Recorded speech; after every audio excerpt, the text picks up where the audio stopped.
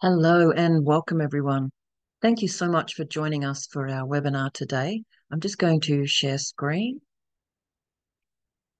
So yeah, um, it's a real delight to be hosting a webinar today from the New Economy Network Australia, um, featuring Hamed Hosseini, talking about reimagining the good life, a pluriversal perspective um, of community well-being in Australia. Um, so first, I'd like to acknowledge country. I'd like to acknowledge that I personally live, work, and play on the traditional lands of the Kabi Kabi people. I'm here in Narangba, which is north of Brisbane, and the country that I live on, some of the view there, the beautiful uh, Glasshouse Mountains, um, the country I live on also connects to the Jinibara traditional custodians' land. So I'd like to acknowledge um, all the First Peoples of this continent and any Indigenous peoples speak joining us today. And I'd also like to acknowledge the important role that we all play in understanding the history of our place and hopefully playing a part in decolonising the way we think about Australia, the way we think about um, caring for country, and the way we think about our future role together as uh, peoples living on this continent. Um, sorry, that's the map of where I live. And um, yeah, that's the map showing where I live using the Aboriginal map of Australia. Um, and yeah, just want to acknowledge all the First Peoples of this continent and acknowledge that land was never ceded, um, that we still continue to live on stolen lands. Um, what I'd like to do before I introduce Hamed's work is uh, just tell you a little bit about the New Economy Network Australia, or NENA. Uh, NENA was created back in 2016, 2017 as a really fantastic network, um, a growing network of individuals and organisations who are keen to create an ecologically healthy and socially just society um, by focusing on Australia's economic system. Um, so NENA is run entirely by volunteers, has a board of directors, uh, it's registered as a cooperative, um, but we also have some really fantastic ways for people to get involved with NENA, including through our distributed governance network. So if you ever want to know more about how we work, um, in the About Us, you'll find a little bit about our governance and the fact that we have lots of different hubs um, that can connect people with their own diverse interests into the broader network. Uh, NENA's had a quiet year because of um, everyone being incredibly busy. Um, but next year, we're excited to be hosting the next New Economy Conference in Brisbane in 2025. It will be probably in the last few months of next year. We have yet to set a date and to lock in all those plans. Um, but if you have a look on the website one day, please do check out the, NENA Journal. Um, there's a vast array of uh, recorded events, webinars, and things that we've hosted, and lots of other information. And if you want to get involved or you want to become a member, uh, please check out the website or send us an email. That would be fabulous.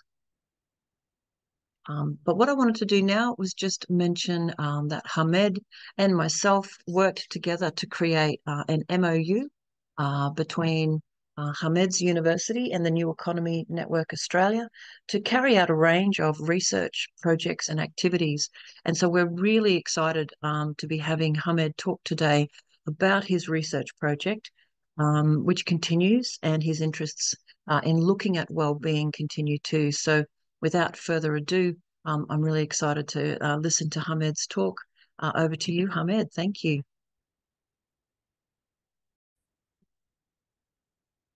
Uh, well, um, uh, thank you, Michelle, for your very insightful introduction and uh, uh for leading the um, the the session today, um, and, and of course hosting it um, um, I'm also thrilled to see so many people actually here. So far, we have about 92 attendees, and I hope you will stay with us until the end. Um, I have a lot to share, so um, uh, without further ado, let's uh, let's dive right in.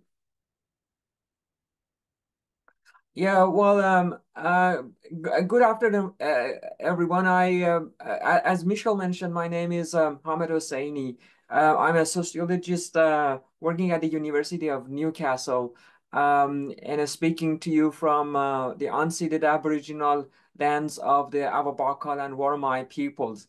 Uh, I'm very thrilled to be here today to present the very uh, first findings from a research project my academic team and uh, I conducted uh, in partnership with uh, New Economy Network Australia, NENA, in, in 2021. The project was based on a kind of a nationwide social survey uh, and 15, 14 in uh, in-depth interviews with uh, some civil societies, a sample of civil society and grassroots organizations across Australia. So um, um, all of them were kind of pro, uh, involved in progressive change. So um, our research uh, focused mostly on their perception of, uh, of a good life, um, alongside several other key topics, including their theories of change, their ideologies or ideological views, the scale and the scope um, and the lens of their work, um, their their positions um, on, on critical topics or issues and the goal, their goals and their functions, um, as well as um, uh, um, the means they use to, to achieve those goals, um, and a number of other things. Um, so I know we have a diverse group of, um, of attendees today, uh, and I'm very aware that catering to everyone's preferences can be a little bit tricky. Some parts of the presentation might feel a little bit dense for some, um, and others might find those sections a little bit interesting or not interesting or vice versa. So in, in if, if one part doesn't grab your your attention or interest, uh, please don't worry. Uh, there's likely another coming up that will. Um, so um, for activists, for instance, here there are political elements that might resonate um, for students and learners. There is um, educational content, and for the um, uh, ac uh, fellow academics, well, don't worry. Uh, there is some theory uh, too. So uh, this may take about 60 minutes, I'm afraid to say. So I really appreciate your patience. So we'll finish with a Q&A at the end, and my colleagues um, um, while keeping uh, an eye on the chart, uh, on the uh, sorry chat room for your questions and the and the comments. So I'll try to keep things clear and accessible, but I might miss a few uh, finer details here and there. So this is the first time we're sharing the findings, and your thoughts will help us um, improve. Um, and also also very fitting that this is part of the social sciences week, which is about making social sciences more engaging uh, for the broader audience. So in that spirit, I'm um, stepping away from the usual academic, you know, the boring academic format to keep things a little bit uh, more fresh and uh, hopefully more engaging. Um, well, um, um, academic presentations usually start by going over the research details, objectives, methodologies, the context, etc., etc. But that's important, but I want to keep the focus on the core insights today. So here's a quick slide with the background of the project for anyone interested in the specifics, like the methodology or findings, etc., etc. I'll share links under the uh, recorded session on YouTube for you to, to check out later. Um, uh, here I only just uh, um, want to give a very big thank you to everyone who made this possible. NENA as our community partner, the research team, um, more than 100 uh, organizations or participants uh, who took our survey and um, and uh, accepted our invitation for the interviews, interviews, and the College of Human and uh, Social Futures at the University of Newcastle at, uh, that funded the project.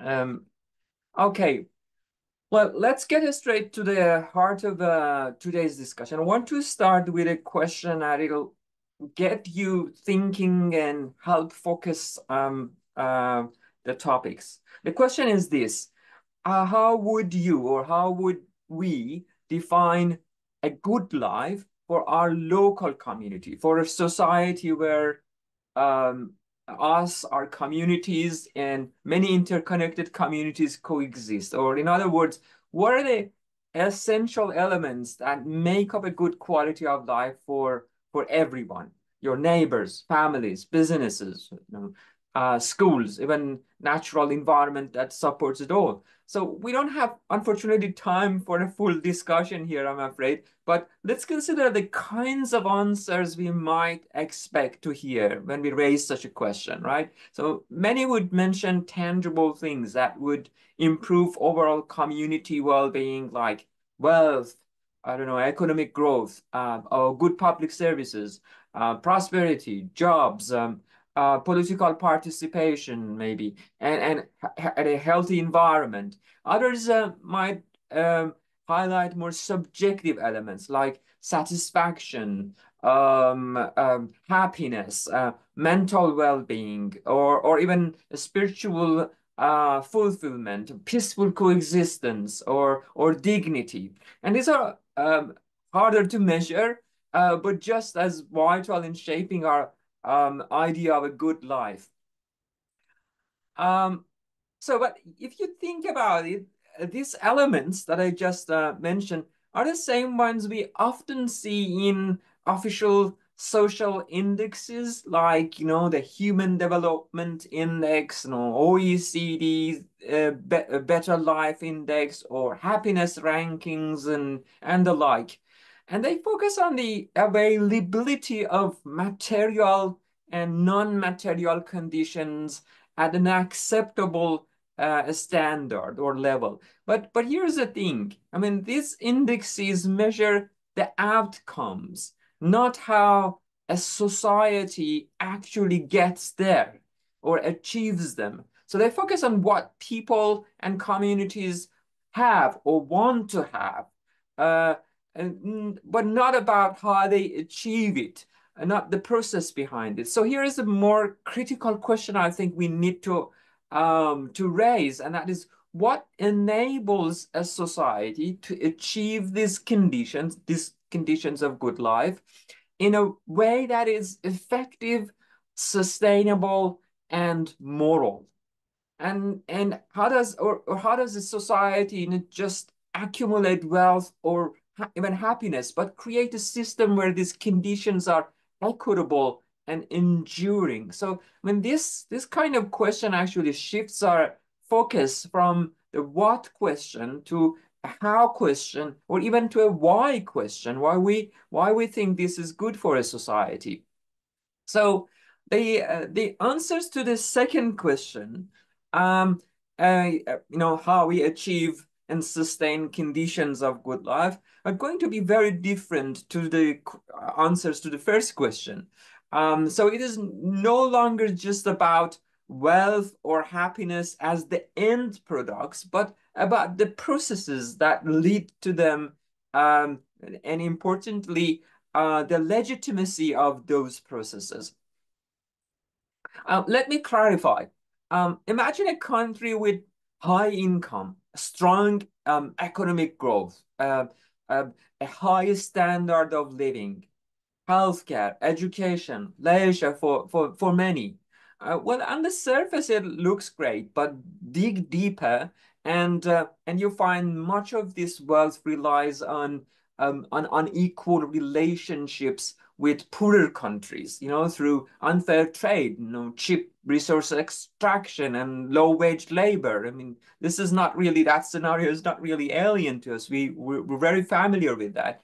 So yes, many in that country or society enjoy a good life, but inequality between classes also or genders and ethnic groups even within that society are growing and people are disconnected from how value is created and that would lead to a sense of growingly the sense of powerlessness and resentment and um, and uh, disenfranchisement so well this good life has two major problems obviously first it's um ethically shaky because it's built on exploiting marginalized groups, you know, both abroad and at home. And usually the same systems that drive inequality overseas are the same as the ones that drive inequality inside. And a second problem is that it's unsustainable. I mean, for for for for very obvious reason that rising inequality undermines justice um, and um, and infinitely pushing for economic growth, you know, really depletes um, resources and causes environmental destructions and finally worsens the climate crisis. Um, so, uh, so th that's why a more important question than what constitutes a good life is what enables a society to secure a good life in ways that are morally right and uh, and balanced both so, so, socially and ecologically. And this was the very big question we uh, asked ourselves in 2020 when the timing was really a key. Uh, COVID-19 hit, turning the world upside down, forcing us to think seriously about the future, not just for humans, um, but for all life on the planet. Um, and meanwhile, I mean, climate change had been worsening for years, you know, hitting different regions unevenly. And life as we know it has never been um, under such an assault, under such pressure from so many directions. So of course, we're not the first uh, group to ask this. It's been debated maybe for centuries in terms of what uh, what results in good life. And, and many of us are still figuring it out, you know, trying to build a better life. And we also know that the economic policies and political decisions are, are shaped by different ideas of the good life. Uh, so we shouldn't really underestimate such ideas. If a society values, let's say, individual uh, prosperity and freedom of choice, when its uh, policies will favor market and um, and personal uh, liberty, um, if, if the focus is on social justice, then there will be more emphasis on redistribution, welfare, collective well-being. And as we know, um, these these approaches, uh, uh, you know, policy approaches uh, are always shaped uh, by power and are constantly pulling in different directions. Now, um, there has always been struggle over what a, a, good life means and, and how to achieve it. And after to, uh, 2008 global financial crisis, some movements regained momentum to push beyond GDP by taking account of, of, of social equity and ecological well-being. And some have been working through projects, their own projects and social innovation and others focus um, on education and, uh, and, and policy influences with so many approaches out there, it's essential um, we felt that to, to, to map and understand how their perspectives converge or diverge. Um, for, for a long time, I would say the elite, the, um, the establishments, if you like, uh, with control over media, education, and think tanks, they have shaped the narratives around uh, good life. Every, every uh, everyday people you know, despite having rich experiences and ideas, often go unheard. I mean, they actually lack the necessary platforms, time, and resources to develop and express their views. So um, this is where grassroots and civil society act, um, actors and movements come in.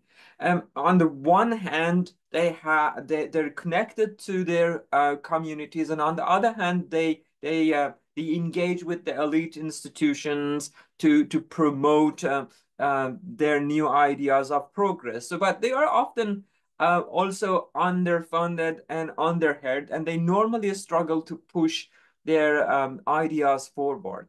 So this is why a project like this that maps and amplifies views to, to themselves and to the public could be so powerful. I mean, it can connect fragmented perspectives. It can strengthen uh, their collective voice and it can highlight the alternative visions they, they fight for. So it helps them articulate their own um, ideas and learn from each other.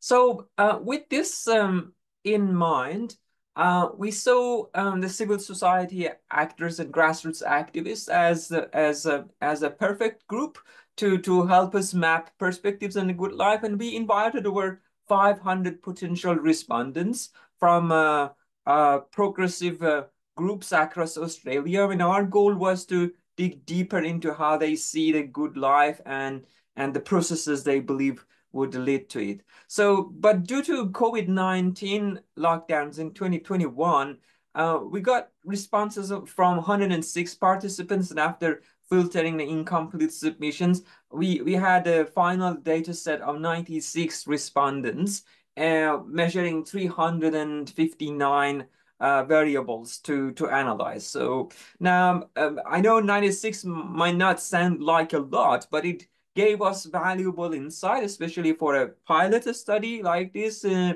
and our aim was to test the methodology, not get a fully representative sample. But this data was still useful and sufficient uh, for a scaling up. Um, so when selecting the organizations, we focus on uh, progressive uh, civil society groups that push for, I would say, systemic change. And we check their websites and use the uh, our, our team's um, knowledge to, to see if they were actively um, engaged in areas that are um, aligned with, uh, with, with our goals. So we targeted groups that um, uh, focused um, uh, on ecological health, you know, making it better, uh, public well-being, social justice, and those working to protect the environment, you know, improve community welfare, reduce inequality, advocate for marginalized groups. Uh, we also included those working to make the economy more participatory for, by promoting cooperatives or, or being a cooperative, um, community wealth building or social enterprises, and those activate, uh, sorry, advocating for economic redistribution. So, and finally, we we included uh, uh, groups um, that were kind of committed to the decolonization and indigenous well-being.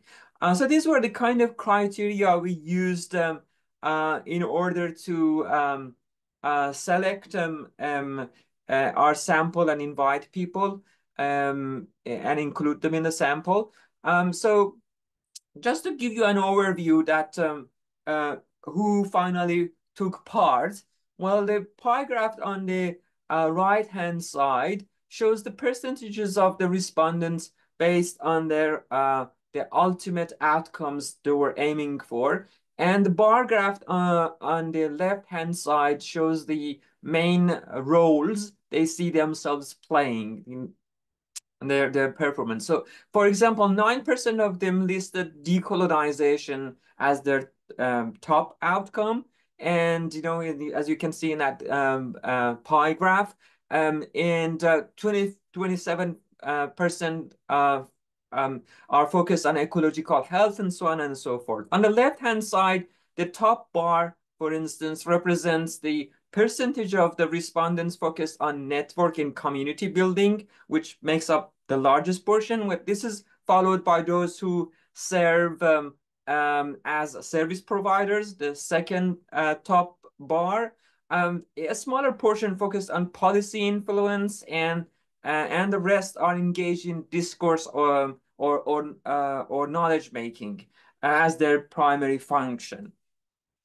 Uh, but uh, here is where it gets a little bit tricky. Many of the respondents picked up uh, more than one option for their goals and, and functions. And that's why when you add up those percentages, um, it goes above 100%. And, and the thing is that basic pie charts or bar charts like these just can't really capture that complexity when people are given the um, choice to, to, to, to take more than one option.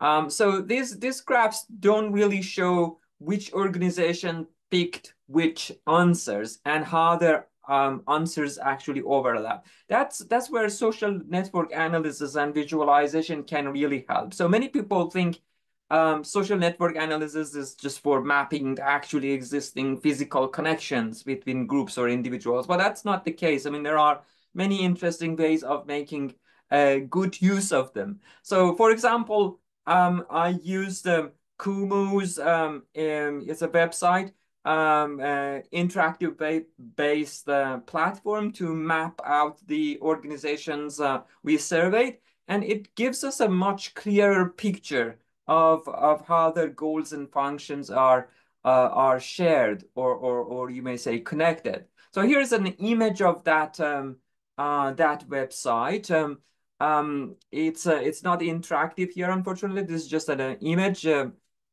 and a screenshot. So in this case, we we've got, as you can see, uh, in that um, uh, visualization, network visualization, we've got two types of nodes. Um, you know, the, the little circles, you know, uh, they represent the organizations themselves and then names are uh, written below each one of those dots or nodes. Um, and um, um, and also you see the type of the nodes that are the, the, the second type of the nodes that are larger in the, the purple ones or the blue ones, the larger ones in the in the middle, um, that they show the ultimate outcomes these organizations um, are working towards. So um, the size of each each circle, the purple circles, uh, corresponds to the, the number of respondents that pick that outcome. So the larger the purple circle is, the more organizations pursue that. They are connected to it. The more organizations are connected or pursue that. And uh, what's really cool is that the uh, that you can actually click on any any node, whether organizations or the out um, output, um, and to see not only what each organization is aiming for, but but also how they align with other organizations that have the similar goals. Um, so the nodes have some extra features. Um, as you can see, their their their shape, you know, if that's a circle or or a square or or a pentagon or whatever, their shape shows their geographical scope, and the color-coded rings around them highlights what type of explicit um, positions they have indoors. So on the left-hand side of the map, under the legend, you can see the list of colors and, and shapes and their related uh, descriptions or qualities. So there are also uh, buttons down there that um, that uh, by clicking on them, you can filter uh, the view so you can easily zoom in on some specific groups. For instance, you only want to see uh, the co-ops or the peer-to-peer -peer, uh, initiatives. Um, so for instance, um, um, uh, as in this image, um, yeah. Uh, um, uh, we we we search for an organize, uh, organization like NENA. So I search for NENA, and um, it it, uh, it shows up, and then you click on it, and you can actually isolate it from the rest of the network and see what goals um, um, it pursues. Uh, and um, in the, in this case, you see that there are four goals. Um, and uh, what explicit positions uh, it endorses, you know, according to those colorful uh, rings around it, and, and what geographical scope um, and what type of organization um, it, it is, or what geographical scope it uh, it has, and what type of organization it is. In this case, it's a pentagon, and according to the legend, it means that NENA uh, NENA's geographical scope is national.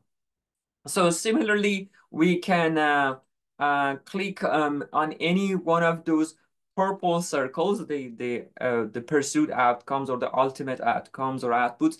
Uh, for instance, I clicked on decolonization and I took an image of that, and you can see it is now isolated from the rest of the network, so you can clearly see what organizations uh, pursue that goal, and that's the, the, the organizations that are connected to to that uh, to that goal or that um, that node. Um, so uh, once we share the link in, in, in the chat room, and I uh, really encourage you all, especially those of you who took the survey, um, to later on after maybe after the session explore the network as i said you can search for your own organization uh, or any organization you're interested and see which um, um, um, uh, other organizations um, share your goals, strategies, and functions. And it's really cool once you start playing around with it, and I think you will find it uh, super useful. If um if you find enough time, I will quickly show you how it works. You know, after, uh, after the Q and A, if we find enough time. But there is many more of such maps for for many different purposes, and and we share the links to them below the uh, YouTube recording of the of the webinar, hopefully.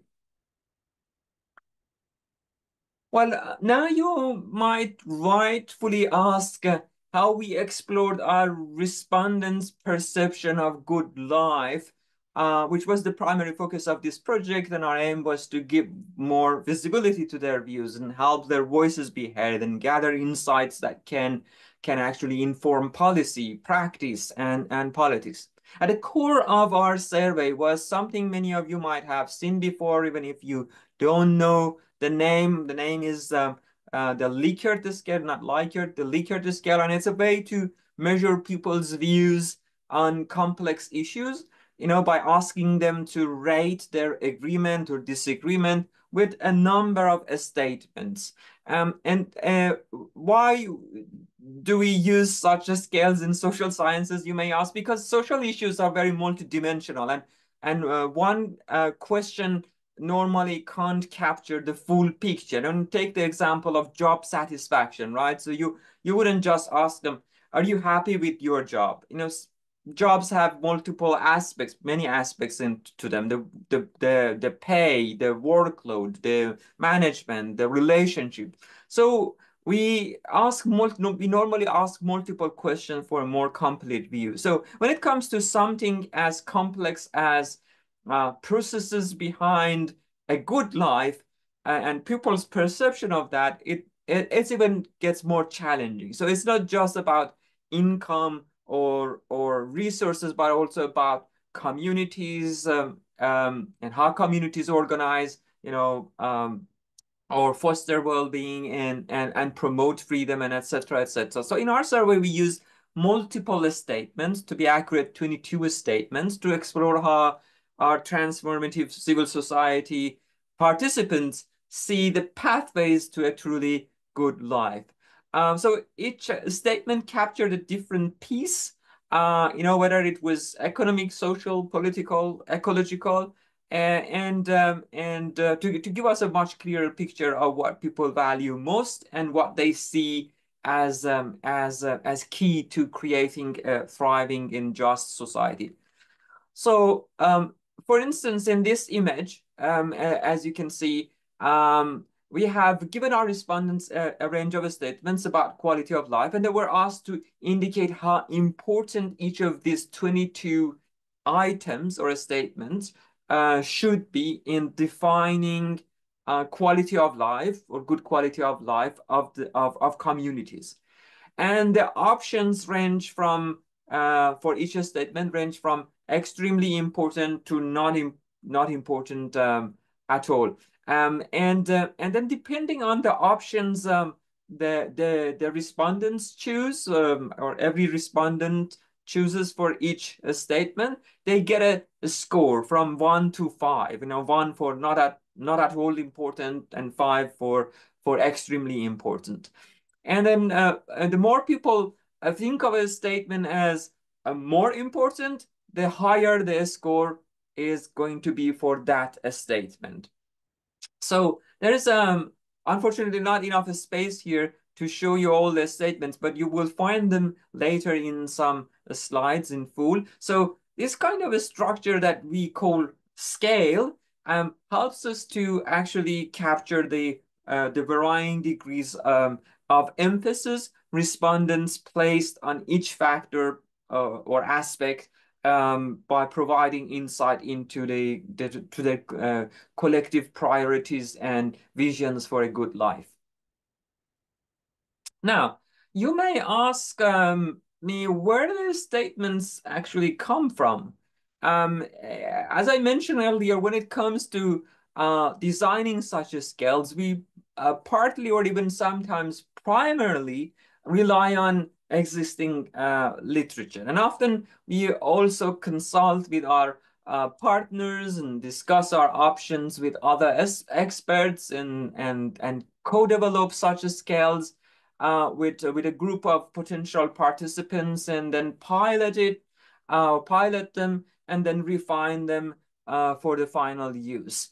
Um, so with respect to the literature, um, as the source of insight for designing the statements in, in, in that kind of a scale. There is no shortage of well-articulated ideas. You know, philosophers, theologians, and thinkers from all corners of the world, uh, from ancient Greece to, to the Middle East and through European and Islamic medieval thought, they all have debated uh, this for, for centuries. And, and the conversation then uh, significantly shifted during the uh, so-called European Enlightenment. And, that's what eventually led to modern ways of evaluating quality of life today. So for me, uh, mapping out these uh, perspectives has been fascinating in, in, in recent years, especially since 2016.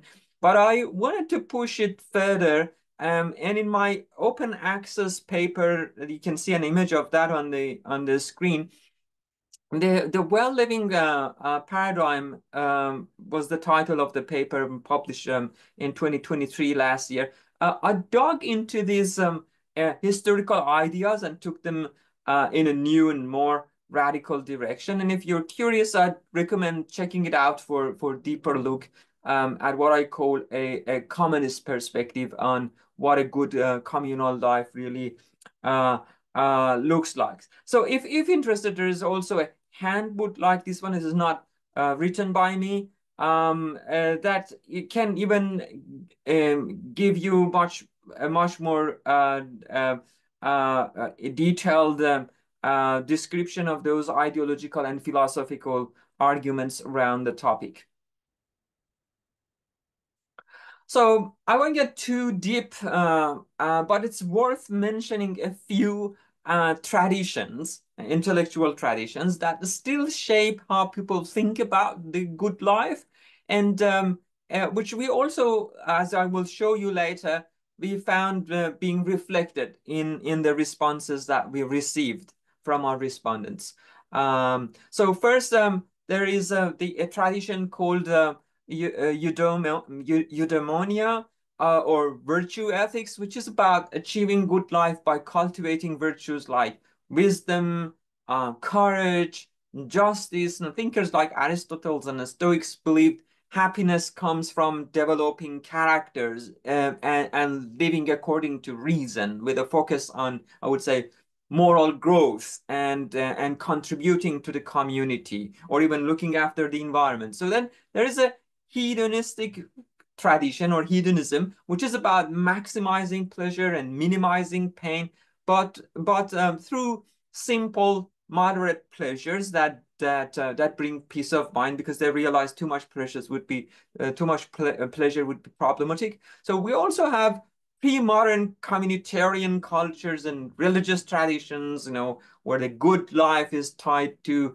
communal solidarity and following moral or divine laws. And it's a it's a mixed approach. Some traditions are more authoritative, uh, while others uh, like Sufism, or you could say Sufisms or Buddhisms or indigenous cultures, will emphasize uh, balance. In, in many indigenous cultures, the good life is ideally about living in harmony with nature and the community, you know, guided by, I would say, a spiritual and ancestral wisdom, you know, uh, embedded in their rituals, and your individual's well-being is is seen uh, as uh, as inseparable from the well-being of the community and the environment. Then we've got the European Enlightenment, um, that brought a major shift by focusing on secular and, and rationalist ideas by framing a good life around individual rights and social contracts. For example, uh, Thomas Hobbes argued the individuals should surrender certain freedoms to a powerful sovereign in, in exchange for protection and, and, and order without this kind of agreement, he said life would be nasty, brutish, and short. And then opposite to him is the is another philosopher of enlightenment, the French philosopher Jean-Jacques Rousseau. Um, it saw humans as naturally good. He was kind of more optimistic and, and believed society should reflect the collective will and allow individuals to flourish. And for Rousseau, the good life came through um, democratic participation and shaping the rules to benefit the, the, the, the, the common good. Now, in the modern era, the idea of good life became more closely linked to economic success and individual achievement, especially under capitalist and neoliberal frameworks, you know, liberal hedonism and utilitarianism fo focus on maximizing uh, happiness or pleasure for the greatest number of people. And thinkers like Bentham and Mill argued that uh, pleasure, especially intellectual pleasure, could be measured and boosted through rational policies and and through markets. And um, then then we've got neoliberal capitalism in recent decades that um, that takes a much more reductionist approach by conflating the good life with economic growth, consumerism, and and personal responsibility. You may remember Tony Abbott saying homelessness is a personal choice. And success here is measured by how well you compete in the market and achieve financial um, independence. Well, this this view pushes for free markets and and minimal state involvement, but it uh, often ignores the social and ecological cost, uh, which uh, leads to uh, rising, of course, inequality and environmental damage and climate change. Uh, so, in response to neoliberal uh, reductionism, we also have seen the rise of, especially more recently, reformist uh, voices or, or approaches that uh, redefine good life by including social and environmental concerns. For example, the, the beyond GDP movement or uh, well-being economy uh, perspectives all argue that quality of life should reflect um, social equity, environmental sustainability, and overall well-being, and not just GDP.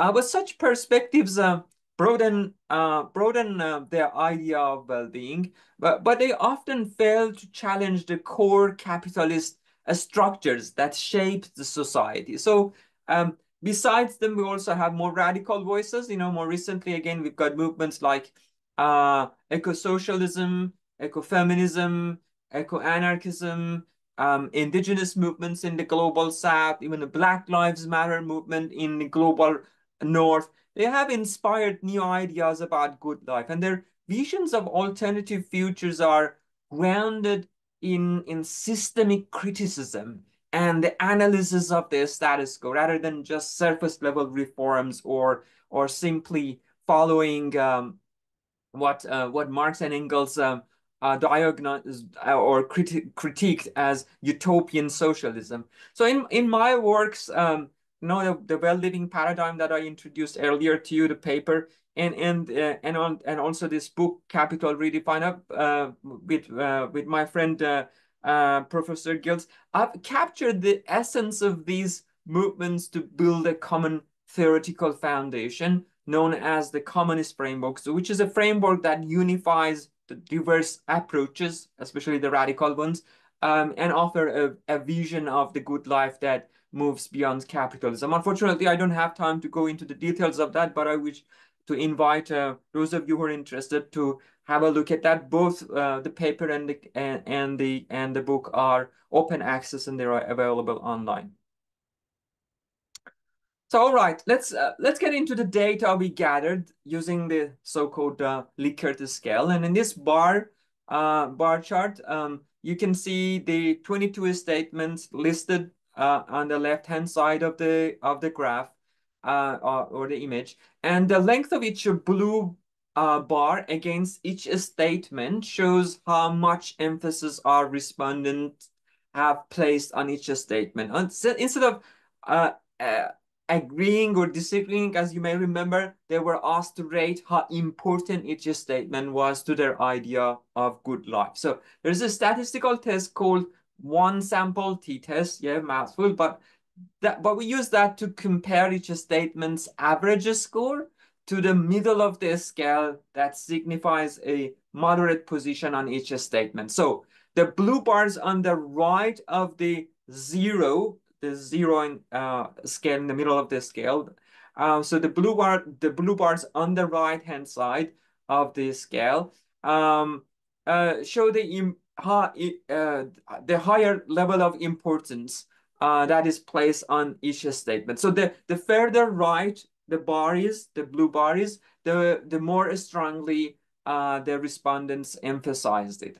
Uh, bars on the left of zero um, or the middle uh, show that respondents place little to no importance on those statements. So we see a strong emphasis on things like biodiversity, the very top one, uh, as you can see, community solidarity, the, the connection to nature, and those bars stretch well to the right. On the, uh, on the other hand, down the bottom, uh, you see the statements related to citizen compliance with um, uh, with the uh, laws and, and traditions.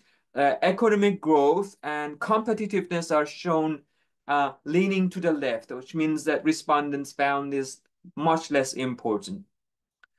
Um, okay, but even with, with all this data, it's still very tricky to see how these views uh, reflect or challenge historical um, ideas about good life. So the real challenge is uh, to overcome the complexity um, and to find patterns in that uh, that uh, uh that underpin uh, these responses.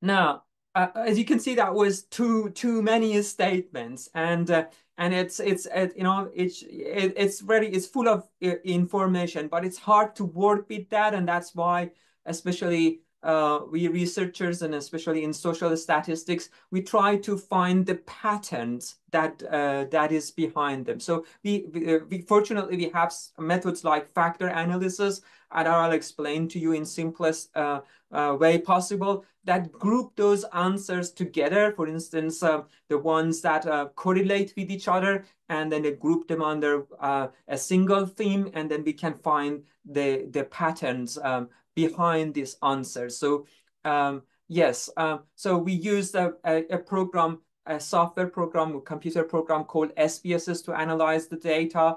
Um, and it's very commonly used in social sciences. But what is interesting is the results we found line up with some of the big ideas that I just mentioned before those, you know, intellectual traditions. And this shows how deeply these ways of thinking about quality of life are actually embedded across different groups. But uh, it's more to that. It's not just those ideas influencing us today. So how does factor analysis work? I mean, it's pretty straightforward. It looks at for patterns in how people uh, responded to our 22 statements when people's answers to different questions tend to move together it's because they are tied to the same underlying idea. So for example, if someone is strong or, or if a good group of people, a good number of people strongly agree with, um, I would say, uh, statements like community solidarity and collective ownership, um, you know, the analysis might group those under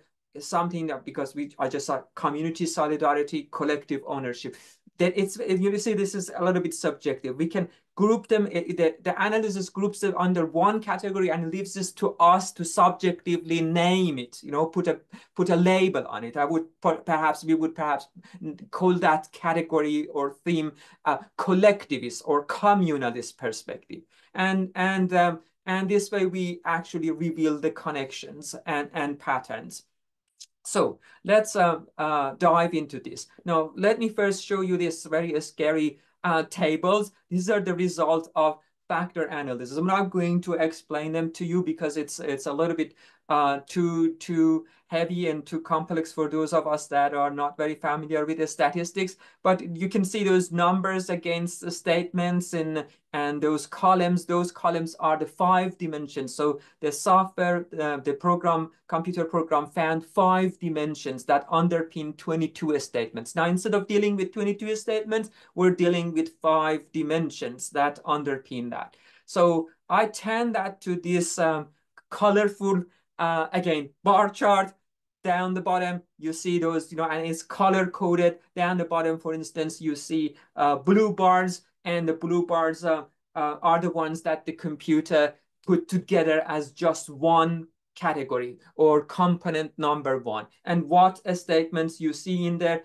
greater attention to um, play and creativity, greater opportunities for families and community, emphasis on cultural stewardship, greater emphasis on living together, etc., etc. And then you you read them and you feel that okay, uh, what is the common theme um, uh, that connects this this uh, this number of uh, statements that the computer put together and Hamed colored them blue. And then the second component is the orange one. The top of that, you've got the green one, only three statements in there. And then the light blue ones, and then the purple ones. So let me go to uh, go through each one of them um, and explain to you what what we ended up, you know, uh, naming them. The, the the first component, uh, if you look at them, and, and this is this is subject um, to conversation among researchers and, and also their community partners and even activists. So um, I would perhaps we can call that, uh, you know, descriptively, uh, it, it, seems that they point to kind of an ecocentric, but also communal well-being. So that first category, that first component that underpins people's view about quality of life, draws on ecocentric traditions, emphasizes on connection to nature, uh, it's influenced by communalist ideas and focusing on, um, I would say, group well-being and living together. Then component number two, the orange ones, you know, I would perhaps call them egalitarian. We're very much emphasis on social justice here and representation. Uh, then you've got um, um, component number three, the green ones together when you look at them. It's more about, you know, as you can see, you can read those statements, hopefully. Um, uh, it's about individual satisfaction, personal uh, freedom or choice, and then something like that. It ties liberal traditions and that value personal autonomy, I would say, and rejects. Um, it's kind of utilitarian but it's not uh, orthodox utilitarian. You see that people have valued personal freedom, but they they're not happy to impose a one fit all, uh, one size fit all um, way of um, way of um, uh, delivering happiness for greater number. So it's a kind of a, I would say, less orthodox, un unorthodox utilitarianism, which is kind of uh, uh, being uh, uh, endorsed here. And then uh, component number four, I would say the, the, the light blue bars and their statements. It's more about collective ownership, you know, community solidarity and community or, or collective autonomy. and it's shaped by communalist autonomous ideas, I would say, um, um, maybe um, a little bit anarchist here and, uh, and collective control over resources and solidarity, but also connects to socialistic ideas like worker ownership and community, sorry, economic democracy. And then uh, component number five, which is the least favored, as I will show you later, uh, reflects the critique of um, of the mostly because it's not very much indoors. I would say instead of saying um, showing uh, people's uh, um, uh, endorsement, I would say it's a, it's a critique of traditional capitalist values like growth and, uh, and competitiveness. Uh, this, this economic growth and competitiveness was not very much uh, favored by the cohort of respondents. And it's very obvious because we, uh, we mostly targeted the progressive ones, but, uh, but there's also still some elements of that um, in their views. Um, I'll get back to this. So yes, these are the five components that I just talked about them. Um, then you may ask me, well, how popular each one of those components, each one of those themes or dimensions are among the people.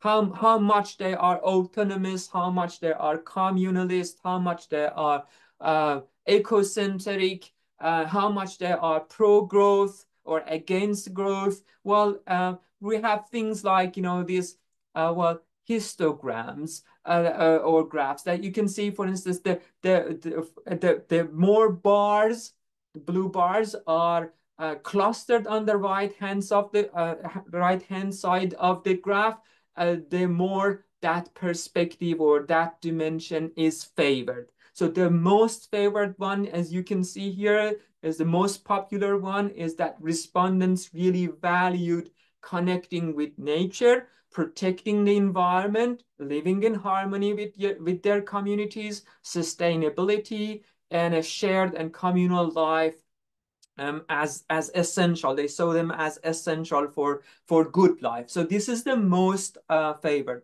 Followed by that, the second most favored, I would say, is the egalitarian one. And a strong support here. People believe in good life includes, um, you know, social, including social um, equality, fair political representation, access to social welfare, especially for marginalized groups, social justice, etc., uh, etc. Et and then you've got the third one, uh, again, not as favored as the first and the second one, not as popular, but it's still kind of, you know, see that the, the bars are clustered in the middle, a kind of a moderate support for that. And what is that? It's individual satisfaction and personal freedom.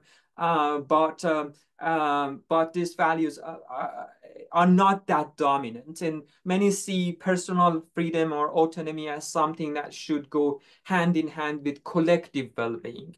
Uh, and then um, uh, the fourth one, uh, again, this one is uh, also very popular. And then uh, there is a strong belief in this one. This is collective ownership and community solidarity, um, and working together. Many respondents felt that a good life means shared resources and community solidarity. Um, and they favored grassroots approaches. So this is the level of popularity of that dimension. And then finally, the least favored dimension, uh, which is the traditional ideas of economic growth and competition, uh, as the as the as I said the least popular. So most respondents really don't prioritize growth and competitiveness as part of good life. Instead, they look towards uh, uh, uh something more than that. So uh, what do we what do these results uh, tell us? Well, in just very not nutshell, and just very short paragraph, when we look at all these components together, it's clear that communal, ecological, egalitarian values are the most popular. People in these groups generally favor ideas like working together, taking care of the environment, ensuring social justice for old. Uh, on the other hand, as I said before, individual satisfaction, economic growth are less important. And personal freedom matters, but it's not central as collective well-being. And finally, traditional ideas about growth and competition don't have much support. They are there, but they're not that, that favored. Now, okay, uh, we might have also realized there is a bit of a hybridity going on here. Because as I said before, those five dimensions are components of their mentality, the collective mindset. So they, they all do exist together uh, despite differences and despite sometimes contradictions, for instance. Um, so uh, the actors don't fit neatly into one category. The respondents show that the, the, the responses show that uh, people aren't sticking to a single tradition. For example, someone focuses on environmental justice might also draw on let's say, ecocentric traditions, uh, but, but they could also recognize the need for social equality uh, policies to support marginalized groups. After all, it's economic justice, right? So you get a mix uh, where ideas like individual freedom and community solidarity are embraced by the same people and same group to different degrees. So instead of boxing this perspective into a strict categories, it's better to think of them as tendencies and and and leanings something like that and and grasp the hy hybridity and fluidity. This one is a selfie of that collective uh, imagination that collective perspective that is shared across the group. Again uh, i just they're, they're the five components but i replaced them with uh, different names here just to because to i'm trying to emphasize the connection between them and those ideational uh, or ideological or intellectual traditions. Uh, but again, as I said before, they are very much intertwined and supported to different degrees. So this is a radar graph. And uh, as you can see, again, we've got those five components. This time I'm calling them tendencies. Uh, for instance, on the right-hand side, you see the, the, most favored one because it's closer to the uh, borders, it's closer to the periphery. Um, it's, uh, it's the post-humanist perception of good life, which is around uh, centered around uh, ecological well-being and interconnectedness. Then the second favorite is the uh, on the left-hand side, as you can see, uh, autonomous perception of good life, uh, which is um, focuses on local governance, self-determination, and uh, you know communities controlling and owning their resources, etc., etc. Then the the third one is the communalist perception down the bottom here on the left-hand side uh, about community solidarity and shared ownership. Uh, the, the, the, and then you've got the post-utilitarian one, which is on the top. Uh, I call it post-utilitarian, as I said before. It has, it's a, it's a bit utilitarian, but not that much. It's not that orthodox. So, and then you've got the least favored one down the bottom right-hand side, it's the economistic perception of good light, which, as, which is which is least favored. And as you said, as as you can see, it's way into inside to the center. Uh, so it's not that uh, that huge.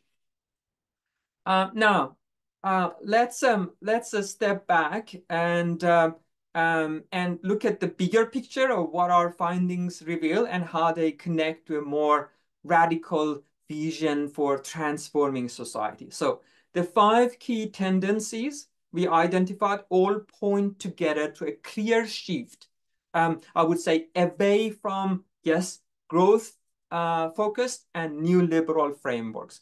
But moving beyond, beyond growth is just the first step to really address today's poly crisis, as some people call it, we need to dig deeper and confront the capitalist structure that shapes um, our reality. So our findings show real counter and post-capitalist elements in the responses, uh, but I'm not sure if they uh, actually amount to something uh, coherent. That's why we need to complement quantitative research with qualitative research. We need to sit together with those uh, people as as many as possible and we did that with 14 they were kind enough to accept our interviews so uh, participate in our interviews and so so to get deeper into into their minds. It's it's uh, and actions and practices and experiences. Uh, so quant normally uh, scans the surface, but it scans a very large surface. And qualitative normally gets deep. It's, it's, it's not that vast or wide, but it's deep. So, um, so there's a strong support for collective ownership, and that's something we can consider as kind of a post-capitalist. Uh, worker em empowerment was was mentioned and endorsed by the people, favored by the people, and people want radical change in how resources and labor are, are managed. So uh, this corresponds to kind of economic democracy, which is post-capitalist. Next is a big emphasis on ecological stewardship. So people are rejecting capitalist extractive nature, and that's good. Uh, and they favor regenerative economy. We also uh, see a push for political and social justice, which demands more political power for marginalized groups, uh, especially First Nation countries, indigenous, and it's about redistributing power and not just wealth. And that's that's that's great. That's interesting. And lastly, the capitalist growth model, which was, the, as I said before, least popular, and that's again, it's a it's a kind of a rejection of of of capitalism in the sense that cap capitalism is a system that um, its ultimate goal is is is profit. You know, a profit motive. So there are those um, good and strong and solid elements of uh, of post-capitalism in in the in that kind of uh, mind um, uh, that we that we that we um, uh, searched or scanned. Um, okay, uh, only two I think two two or three more slides and I end the misery. Um, so uh, let's let's also reflect on the loopholes and gaps. You know, uh, what are the limitations? Here you see me that I'm actually going beyond the data a little bit, and I'm actually, I, I didn't have time to present the rest of the data and, and the findings. Uh, and also I'm getting a little bit subjective, which is okay as far as I'm uh, transparent, uh, I believe. So we met, I would say, um, civil society-wise, we have made good progress toward post-growth, collective, and eco-friendly ideas of good life. And the idea is there, although it's very in contrast with what we see at the elite level. Uh, individualism, personal satisfactions are still valued, which is okay, but it can sometimes conflict with collective vision. And if we're um, we're not careful, this can start to resemble new, neoliberal ideas like consumerism. And it's important to show that individual and collective well-being can go in hand, hand in hand. I'll give you an example. Many people think that if everybody gets, uh, their, they roll up their sleeves and gets involved in doing something different, finally out of the market of um, um, this kind of market of great ideas, a, a, new force would emerge. That sounds like the hidden hands of, uh, or, or the invisible hands of market, you know, Adam Smith's invisible, invisible hands of market. That sounds like a little bit neoliberal. There needs to be a layer a layer of meta-activists like the honeybees that go and pollinate and cross-fertilize across different views. So the growth dilemma is still there because by and large, the court has moved away from the growth narratives, with many seeing it as necessary, but not. So there's a bit of a division but between those who say growth is not enough, so let's go for it, but also go for more than growth, so that like, you know, green capitalism or, or green growth and those who are degrowth. And that's one of those divisions. That's one of those gaps or chasms that, uh, that we need to work on. Also, there's a number of respondents that seems that they have, it's only a small number of them that task themselves to, to decolonize. And interestingly, another part of the, the findings actually shows that those who go for decolonization, those who pursue decolonization, are the ones that are most likely uh, take a more holistic view of good life. Oh, and that's like I think that's the inspirations and insight they get from the indigenous because that's how the indigenous people look at the world. Eh, they are very holistic, and there are also tensions between political representation and collective autonomy in the minds of people etc., etc. Uh, I'll skip that. Um, so it's important to also look at the limitations, loopholes, chasms, contradictions in that mindscape, in that in that collective mindset. Now, what are the implications for actions? Well, uh, these findings actually show that a strong anti-capitalist, commons-based, and post-humanist values uh, are there. Uh, but real transformation needs more than just hybrid ideas. We must build a unified understanding of how capitalism fuels our social and ecological crisis. After all, we're living under capitalism. And, and, more than that, it's the unholy trinity of capitalism, modernism, or you may call it developmentalism, and, and imperialism slash uh, colonialism. So that unholy trinity. We need to actually deal with that. Uh, and and and shows I mean this this this data shows that many efforts uh, are there to challenge capitalism, but the real challenge is how to unify, uh, I mean, unite them or bring them together um, and in, in kind of a coordinated push. And change won't come from isolated pockets. You know, it requires transformation of society's entire, I would say, value system. Collaboration across movements is crucial. Real progress um, um, happens when I believe social, ecological, and economic uh, struggles unite. Um, so we understand, I mean, should, I should acknowledge, we understand not everyone can fight on every front and not everyone can share the same values, you know, etc., etc. It's unrealistic to, to, it's unrealistic to expect that. Uh, but the solution is for movements to work more in solidarity with one another and supporting and amplifying efforts across uh, different uh, causes. You know, a specialization in activism is great, it's necessary, but coordination is also necessary. And that's why the works of organizations like NENA, you know, the network weaving, running biannual conferences, bringing all those progressive forces and voices together to hear from each other, uh, running wor workshops constantly and tirelessly, uh, is uh, is great. It's the, it is such efforts like NENA's effort should be supported. And I really invite you to to to get involved um, and to to to support as much as you you can.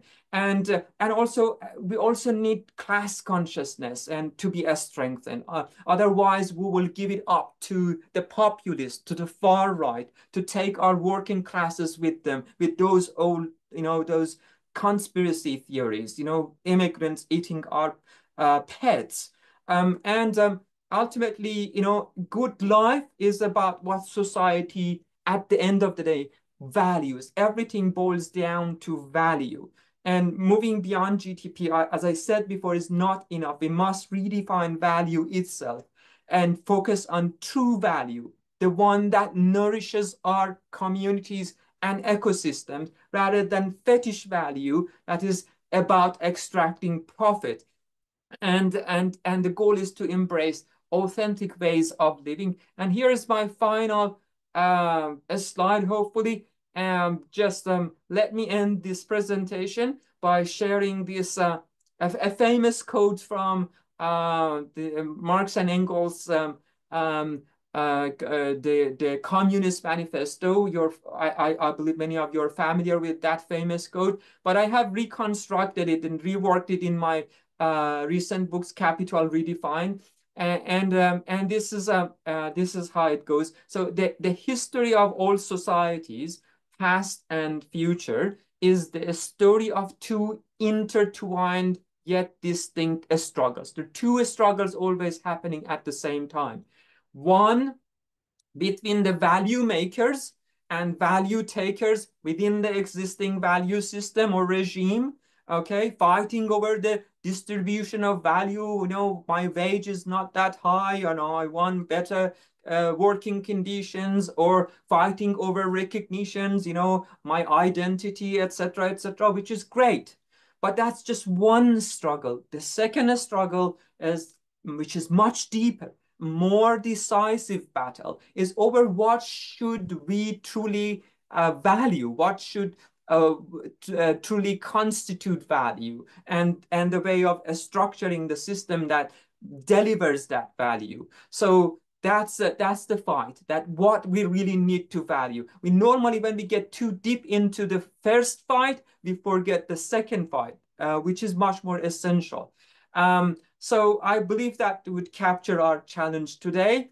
Um, I'll leave it there. And I, if you're interested, again, I invite you to read especially Capital Redefine and the Well-being, and also invite you to, if you haven't, if you haven't been familiar with NENA, make yourself familiar with NENA and the great work that goes in there. Thank you so much for your patience. Uh, I'm Thank done, you. Thank you, Hamed. Um, if people know how to press emojis, please do press the clap button or something similar. Um, Hamed, we do have a number of questions that have come through, um, and Tiani and I have been trying to collate some of them together. So let's let's make a start. Um, we will finish at on time at 1.30, so please bear with us. We'll work through the questions um, as quickly as we can. Um, Hamed, just to sort of kick off a, a mini summary from you, um, Miguel has asked, um, how does your research fit into the broader post-capitalist debate? Uh, Can you?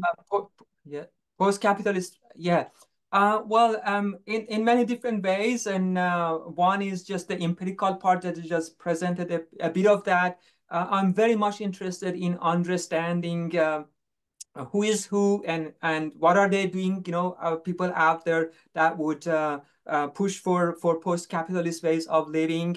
So that's the practical empirical aspect of it. And i also get a little bit too philosophical and too deep in sometimes in order to uh, look into for instance the nature and future and a structure of capitalism because capitalism has evolved since karl marx wrote the book das kapital right? So that's one of my uh, my aims has been actually to to imagine if karl marx was uh, still alive, how would have been dealing with the complexities of uh, of modern capitalism in our time. And I see that there's some elements he would keep, and then uh, uh, in other elements he would, or other aspects he would go beyond. So that's why in one of the chapters in that book, uh, the title is "Going Beyond Marx, but with Marx." So I think it's still uh, interesting stuff in there, and I try to provide people with kind of a conceptual framework that would bring people together, feminist and, and socialist and anarchist. I hope the work would resonate with them.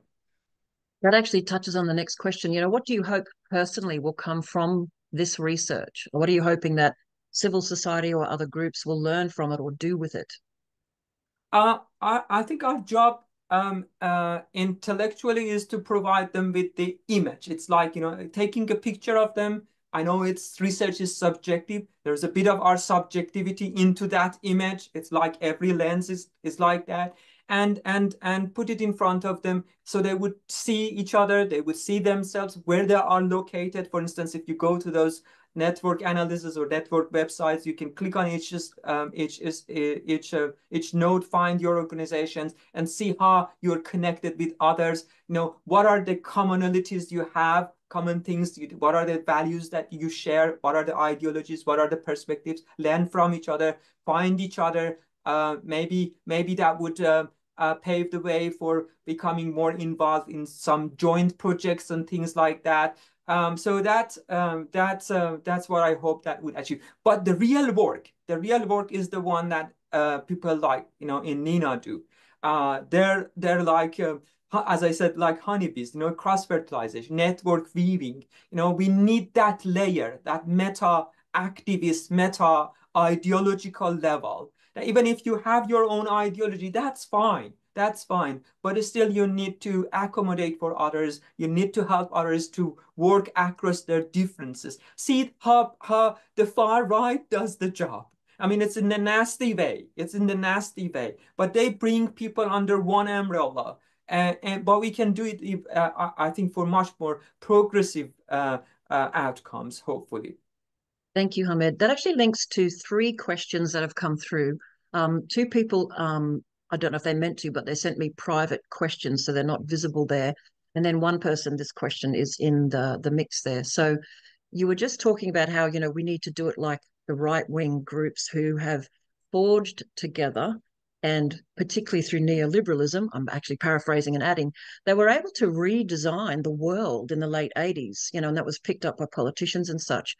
Um, one comment um, has been problem with progressives is they're all arguing about their own little pocket of work and they don't band together. Um, the co comment here um, by Claire is interesting. She says, too many views, fragmented movements towards a better society, not helpful when trying to counter the dominant capitalist ideology entrenched for 600 years. Don't we need more solidarity and an overarching goal? Otherwise, we may dither forever. Before you comment on that, Hamed, and what people are thinking, so all this fracturing, all these different objectives, all these different goals. Someone else wrote privately to me, but I think they meant to comment to Claire. Um, actually, that's exactly how we're going to break down capitalism. Look at the global tapestry of alternatives. You'll see that the move is towards bioregionalism, localization, not fragmentation, but strength back in bioculturalism. So I think these are some really interesting views. You know, from your research, given there are a lot of different views on how people would explain or describe themselves, do you think there's a strength or a weakness or a little of both in all of these differing views in progressive groups? Oh, yeah, I think uh, it's both. I mean, uh, their strengths in diversity, the weaknesses in lack of coordination and communication. Um, I personally always considered myself as a leftist, and I run a a, a course. Of, uh, the title is Future uh, Societies, and I used to be the uh, the older title was Capitalist Globalization. It was so kind of gloomy and and people were learning a lot the students were learning a lot but when they were leaving the uh, the, the course they were just very upset about everything. And then i realized well let's let's uh, let's bring some conversation about the alternatives. So i allocated half of the second half of the semester to the alternatives. And basically i couldn't believe that there were so many of them actually and there's so many great ideas that don't just don't make headlines. And uh, and then uh, it was so ed educational i'm still learning about them think uh, when we are in our uh, silos and thinking about a society too complex, too diverse, uh, it's too overwhelming. I'm not going to get involved. I can't really digest that. well, uh, that uh, that would prevent us. But as soon as we open the windows and the doors and get involved, then we we become more more open-minded and we, we learn a lot from uh, uh from others and i think that's that's even activists themselves need to do that and, as, as as you said there are also ideas that are more uh, i would say general like bioregionalism it's a kind of umbrella idea umbrella framework that brings many views into into conversation into coordination with each other and and they are there they are there and I think diversity, I mean, biodiversity is the strength of nature. And also this ideological and practical diversity is, is the strength of us. But also nature is interconnected. Also nature works together, every elements of it. It's a commons. That's why I, I, I try to push for the idea of commonism, not communism, commonism. Because if we learn from commons and how commons work, they work in unity, but in diversity. Hmm. Thank you, Hamed. Lots to think about, I think, for all of us. And certainly, NENA, the New Economy Network Australia, the work of NENA has really shown, and we structured NENA to specifically allow for a lot of diversity in the kind of different kinds of work people do and the different worldviews. We never said we had to have a sort of singular view. We just wanted to bring diversity together. But it does it does wage this kind of conversation about well, what's the end game? and how are we getting there? Uh, certainly, after 35 years working across environmental, new economy, community uh, capacity, etc., decolonization, I think diversity is the reality of life. And as you said, Hamed, nature, nature works very much. Nature loves diversity. She doesn't like the singular or the uh, uni, the unilateral, but finding that common ground, supporting each other in our different approaches and really getting specific about the kinds of specific reform we want whilst supporting each other's diversity as perhaps the way we have that patchwork quilt rather than a, a singular nylon doona, if that makes sense as a terrible metaphor. Um, coming into that, let's go to the next question.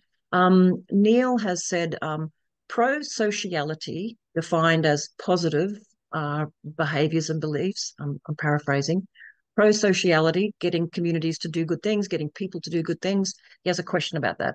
In the context of the rapidly escalating poly crisis and the urgent imperative towards localization, um, do you have any ideas as to how pro sociality can be promoted at the individual and community levels? Um, that's the basics of the question, and then including intra and intergroup pro social behavior and do you think demonetization and gift economy would influence it? Uh, yeah, I think um, yes, um, but but I can't pretend to that I uh, know the answer, especially for pro sociality. I, I think that needs to be clarified first. Um, um, yeah, but um, um, yeah, lo localization those connections are great, but also we've got the globe as a locality as well. So we also need to look after the the the, the entire planet as as a locality itself too. So that would require uh, expanding that sociality to to to to across the communities. You know the relationships between uh, between communities. Uh, I'm sorry, I can't really pretend that I uh, understand that concept very well, and uh, and I can answer that question. Yeah. Okay. Um, there's a couple of questions from Neville, and they're more about research methodology uh, than the content of what you were talking about. Um, one aspect of his question is uh, Does the numbers and machine approach really demonstrate what the research is seeking as knowledge? I know many global philosophers, sociologists, etc., in the last 40 years who are still skeptical. There's still a better need for combined qualitative and quantitative research methods. Did you want to speak to that, Hamed? Oh yes, our, our research project is a mixed method. Uh, what I presented was just a quant, uh, just a tip of the iceberg of the quant aspect of it. We have interviewed, we're also looking for some more money and, and opportunities and, and support in order to go through the interviews that we have. They're beautiful interviews. But it's, as I said before, this is a small number. It was a pilot project. Only 96 people could uh, manage to participate. And uh, and so I, I can't claim that I can generalize that to the entire civil Australian civil society. Uh, but it's a it's a it's a it, it, it's a case study in itself. It was diverse enough to give us some view, uh, as I presented, uh, into the mindset of people and their um, experiences and actions. Thank you, Hamed. Absolutely. Uh, yeah. Harry has asked a question. Uh, he asked it while you were on slide 22. Uh, what does that scale represent, e.g. 0.6 of what? Could you, want to, you don't need to share screen, but would you like to refer back to that? It's a bar chart of pattern matrix or something. Bar chart of pattern. I may have that wrong, but if you want to check slide 22 and just remind us what oh, the 22. scale was. Um, oh, oh the bar, uh, bar chart of pattern. Uh, yes. Um, do you want me to explain that again? Um, maybe if you can just speak to it very quickly. Oh yes, uh, the the bar chart is um, it was a visualization of the uh, a pattern matrix. The pattern matrix is one of the products of factor analysis that uh, the statistical um, uh, programs do. I I just wanted to visualize it uh, uh, for you guys instead of going through those very boring and complex uh, table of of, of pattern ma matrix. Uh, um, when we do an, a factor analysis, as I said, the, uh, the, the statistical program looks for correlation. So for instance, if a few uh, statements correlate with each other in terms of people's, you know, people's uh, when they say I agree or disagree, they get a score, they get a number. And so when those numbers correlate across a few statements, the computer puts those statements together and says, well, I found a component here. I found a theme that underpins this, uh, this, uh, this, uh, this uh, group of uh, statements. So that graph actually puts those groups of statements together and you see it was color coded. For instance, the down the bottom, there were the dark blue ones, the ones uh, with the dark blue bars, and together they were they were considered by the computer program as highly correlated to together as one theme. And then we and here is and you can see a statistics is not just about numbers. A lot of subjective and mental work goes into it. And so we sit back and look at the uh, statements that are grouped together by the program and say, okay, well, it seems that this, this group of uh, statements or this group of questions are pointing to this direction or that direction. They're, they're telling us that um, there is kind of, for instance, autonomism going on here or, or communalism going on here. And therefore, we instead of dealing with 22 statements, we deal with only five dimensions. Like job job satisfaction, for instance. Like so you so you have to come up with some some questions that would uh, you ask people about, you know, their work working conditions, their payments, um, their relationship with the management, uh, or their relationship with their colleagues. How collegial are you satisfied with the collegiality of your work? And and see that each one of them is a dimension of job satisfaction. I mean, social social life is very multidimensional. Sorry to take that too much. Did you speak to scale? I'm not sure if did you answer the question what the scale was in that Oh yeah, the scale was um, a group of statements, 22 statements. We put together, we asked people to tell us, to look at each statement and tell us to what extent they think each statement uh, uh, represents their view of quality of good quality of life. Uh, for okay. instance, biodiversity, how important it is.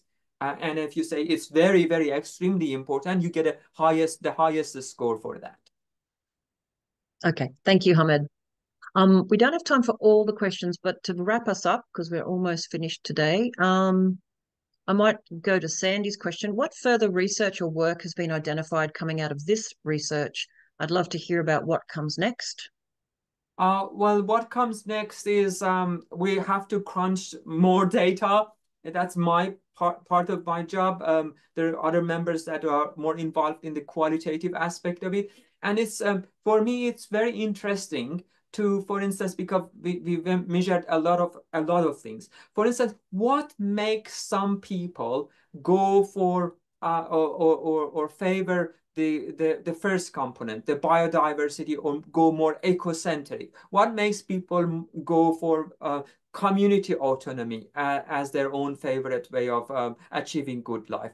And then we'll look at the, for instance, their theory of change. For instance, those who favor more radical change or those who favor more systemic change, would they what, what sort of or what aspect of uh, good life they, the good, good life they would favor as well. So uh, my job is to look into the associations and find the determinants, things that make you more I don't know, anarchistic, more socialistic, more more uh, more comprehensive um, towards community, uh, towards sorry, towards a good life. What influences things that influences our views of good life?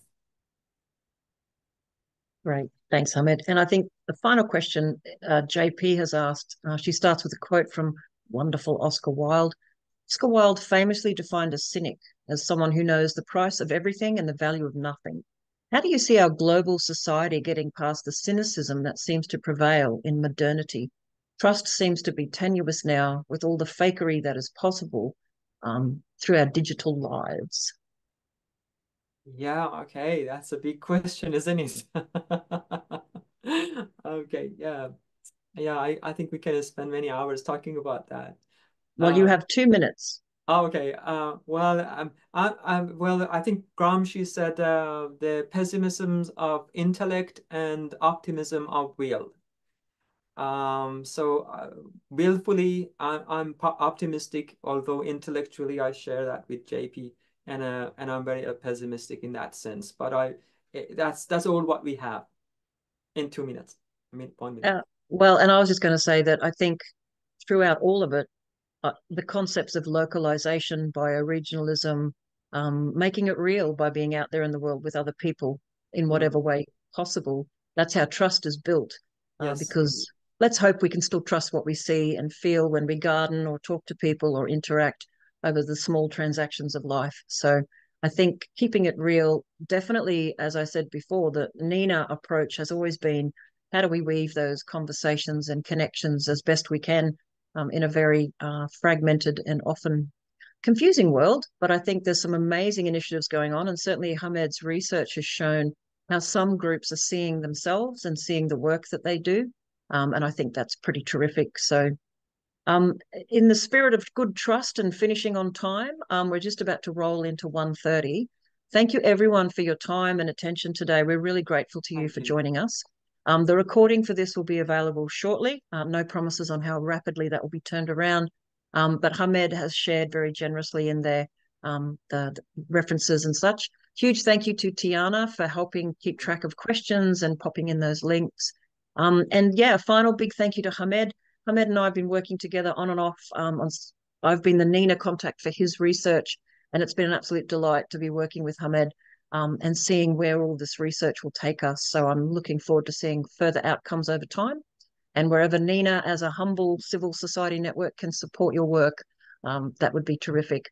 And to everyone who hasn't been um, a member in the past, please do think about joining NENA. Um, again, we are a small but humble network trying to do everything that uh, Hamed's been talking about, bringing people together, finding those commonalities um, whilst still supporting and celebrating our differences. Um, so yeah, on that note, a huge thank you to everyone and we'll sign off now. Thank you, Hamed. Oh, thank you, everyone. Thanks for being patient with me. All the best. See you again. See you soon. Bye.